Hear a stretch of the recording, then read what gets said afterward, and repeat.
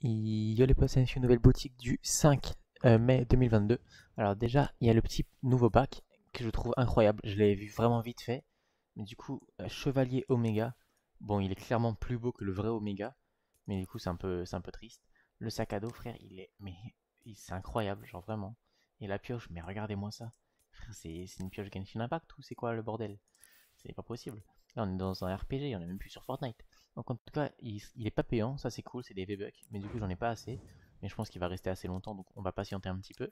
Alors dans le reste de la boutique, on va aller assez vite parce que je vais vous mytho qu'on s'en balèque. Voilà, clairement. D'ailleurs, il y a encore les défis pour ce skin. Putain, ils ont, pas, ils ont toujours pas enlevé les défis pour avoir ce skin, je crois. Ok, bon, on s'en fout de toute façon. Euh, en bas, on a le petit tralala, bang bang, des petites danses, ok, on s'en fout. Et en bas, toute la boutique Star Wars, j'ai tout acheté parce que je les voulais trop. Même Street Fighter, hop, et tout le reste, on s'en fout. Du coup, c'est tout pour cette boutique. N'hésitez pas à liker, vous abonner pour ce code créateur sur la boutique Fortnite. Ciao